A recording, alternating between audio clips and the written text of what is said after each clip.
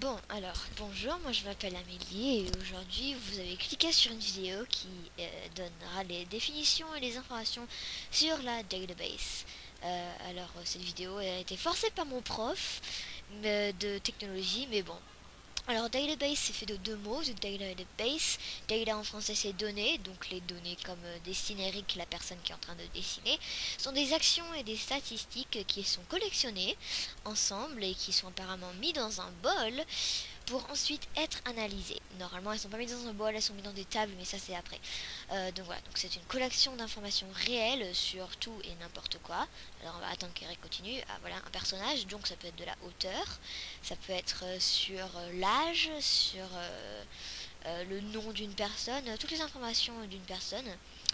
Alors, euh, ces informations sont variables pour euh, quelqu'un d'autre et après on les met ensemble. Apparemment, ce sont des jumelles et comme je vous ai dit avant, l'information est mise dans des tableaux voilà, alors maintenant nous allons dans le deuxième mot dans database qui est base. Donc apparemment je ne sais pas ce que c'est, mais Eric dessine une maison, une personne et ce qui, euh, ce que j'ai l'impression qui est un pistolet ou je ne sais quoi. Donc je vais essayer de dire que c'est la base ou la base d'une armée ou quelque chose dans ce genre. Je n'ai aucune idée de ce que c'est. Enfin bon. Le programme c'est sur database, donc comme je vous l'ai dit avant, database c'est toutes les informations euh, qu'on trouve euh, d'informations d'une personne qu'on peut trouver n'importe où. Euh, donc euh, c'est trouver tout et n'importe où. Euh, tout ce que vous faites et peut être mis dans des tableaux et, enregistré. Donc c'est assez simple comme est en anglais avec apparemment une tête qui sourit. Donc qu'est-ce que je continue à dire? Les tables, voilà, les tableaux. Alors ce sont... mais dans des tableaux et... je me suis perdue. voilà, donc ça met dans des rangées. Et apparemment, ça marche qu'en anglais ce qu'il écrit. Donc, euh, ce que je vous dis, ce n'est pas exactement relevant, donc relevant, je ne sais pas que c'est en français. C'est sur des... Euh, dans une table, voilà, avec des... des, des trucs... Voilà. Donc sinon après il y a les types de, de, données euh, avec ABC ou 1, 2, 3 ça s'appelle de l'alphanumérique parce que c'est des numéros et des nombres. Alors après, il y a euh, des points d'interrogation et choses comme ça, ce qui s'appelle numérique.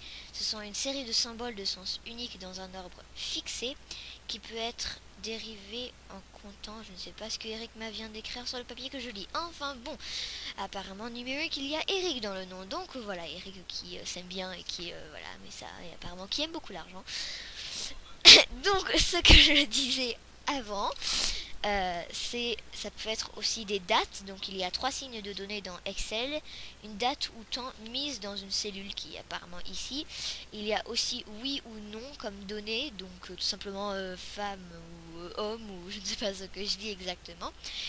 Mais ça peut être oui ou non. Donc ça, ça s'appelle du boulang. Et il y a seulement deux réponses possibles, comme oui ou non, mâle ou femelle, ce qui est écrit et ce que j'ai déjà dit. Voilà, boulang. Alors, Apparemment, je n'ai plus de fiches, donc je ne sais plus quoi dire après, mais on va voir ce que la vidéo donne. Alors, euh, ça continue une table, des tables... Ah, plusieurs tables. Donc, Eric ne m'a pas fait le continu, mais ce n'est pas grave. Il didn't do relationships anyway.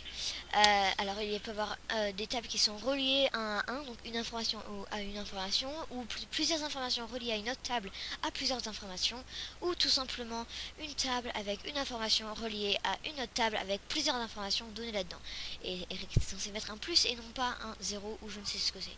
Donc les deux tables sont reliées ensemble avec une primary key et euh, elles sont reliées ensemble. Donc si on tape une, une de ces informations, on aura euh, les deux tables qui sont reliées ensemble. Alors voilà, c'est la fin de la vidéo. Vous avez regardé pendant 4 minutes. J'espère que ça a été très intéressant pour vous. Probablement pas parce que je parle très vite et euh, très malement, on va dire